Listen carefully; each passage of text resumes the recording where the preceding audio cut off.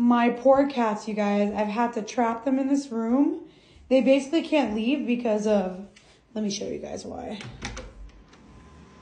Well, I think you can see why. He's been so upset, you guys, because we've been under construction and he does not like being in this room the entire day. So we are going to rotate him tonight. He has no idea, but he's going to be on the third level. Do you want to sleep with dad? Yeah?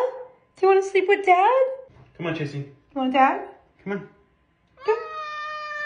Yeah. Okay, come on. Okay, buddy. go to dad. So he knows Cream's on the third level tonight, so he's excited. Let's actually see if he wants to come back to me. Watch, watch you guys. This is to show you guys that he really, really wants to go with Cream. Come with mom. All right, he knows dad's on the third level, so he's like, I want to go to third level. It's so much fun. I'm gonna, I'm gonna sleep in this room with you. That's a no. He, he wants to sleep on the third level. I'll show you guys what the third level looks like. since I'll show you how to get up there. obsessed with it.